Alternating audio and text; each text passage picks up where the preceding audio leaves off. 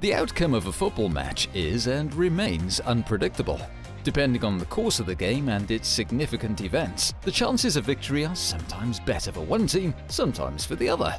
The new Bundesliga match fact, win probability, derives win probabilities from the associated data and informs when the tide seems to be turning.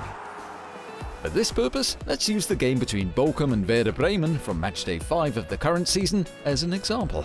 An important component for calculating the win probability is the number and quality of chances, measured by the expected goals, or x-goals. Up to the 80th minute, Bochum had 17 shots on goal, inside and outside the penalty area, with a cumulative x-goals value of 1.3.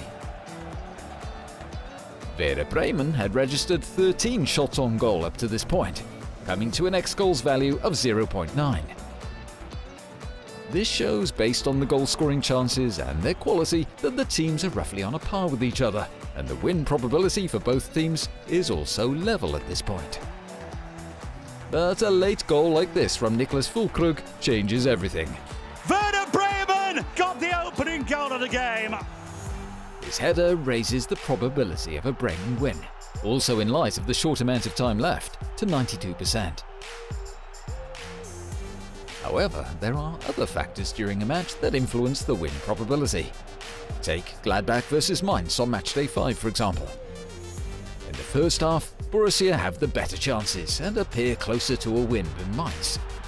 But the score is nil-nil at the break, a red card shortly after the restart then changes the course of the game completely. The win probabilities converge for the first time in the match, because Mainz now have a man advantage. The subsequent free kick is converted by Aaron Martin and tips the scale completely in Mainz's favour. Oh, a free kick of the highest quality! A man down and trailing, Gladbach's win probability drops abruptly to 11% while Mainz's chance of winning soars to 65%.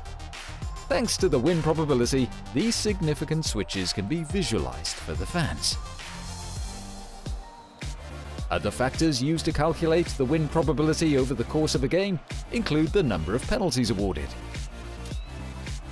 the number of corners, and dangerous free kicks taken as part of the set-piece threat, and of course, the minutes played. On top of that, substitutions of players with skill have an impact as well. The new Bundesliga match fact powered by AWS, win probability, shows how the chances of winning change depending on the course of the game. Significant changes in the win probability are made visible by a corresponding graphic.